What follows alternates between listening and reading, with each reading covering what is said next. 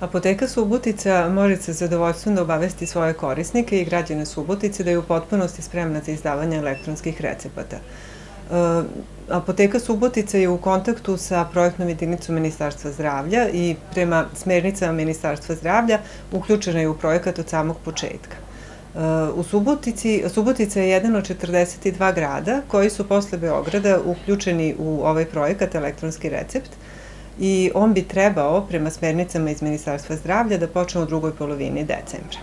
Ko će moći da koristi ovu uslugu? E, za početak će e, dobro biti osetiti hronični pacijenti. Za njih e, ovaj elektronski recept znači da će sada kod prve posete lekaru moći da dobiju takozvani obnovljivi recept, sa njim odlaze u apoteku i podižu lekove kao i do sada. Ali oni su na ovaj način ušli, ušli u sistem elektronskog recepta i njihova sledeća poseta e, neće biti poseta lekaru, nego samo poseta apoteci uz zdravstvenu knjižicu, i bez papirnog recepta. E, na taj način oni će moći šest meseci da podižu lekove, svoju mesečnu terapiju u apoteci, bez odlaska kod lekara.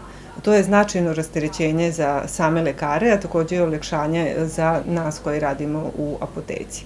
Znači, za početak predviđeni su hronični pacijenti i za početak im je potreban obnovljivi recept koji dobijaju kod e, prve posete lekaru. Sledeća terapija je, e, sledeća mesečna terapija je samo uz zdravstvenu knjižicu. Kako će pacijenti znati u kojim apotekama mogu da podignu leku uz elektronski recept? E, ono što je za građane važno je da će apoteke koje su, u kojima je moguće izdavanje lekova na elektronski recept E, mi konkretno imamo 22 ogranka e, i svih 22 ogranka će biti oblepljene nalepnicom na kojoj je naznačeno da je ta apoteka e, da ta apoteka ima adaptiran program za izdavanje lekova na elektronski recept.